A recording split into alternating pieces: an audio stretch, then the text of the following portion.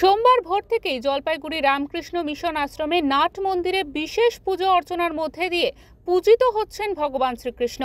এর সঙ্গেই আশ্রমের প্রথা অনুযায়ী এবারেও একই দিনে কাঠামো পুজোর মধ্যে দিয়ে সূচনা হলো মা দুর্গার মূর্তি নির্মাণের কাজ।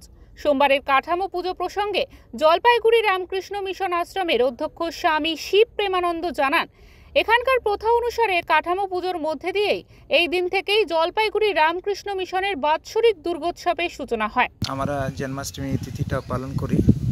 ঠিক ওই দিনে প্রত্যেক বছর যেরকম করা হয়, কাঠামো পূজা করা হয়, দুর্গা পূজার উপলক্ষে যে মূর্তি তৈরি করা হয়, আজকে ওর কাটোমার পূজা হয়। তো এবার দুর্গা পূজা আমরা গত বছরের মতনই আমরা প্যান্ডেল করে বাইরে মাঠে করব। আর কুমারী পূজা ইত্যাদি সবই হবে।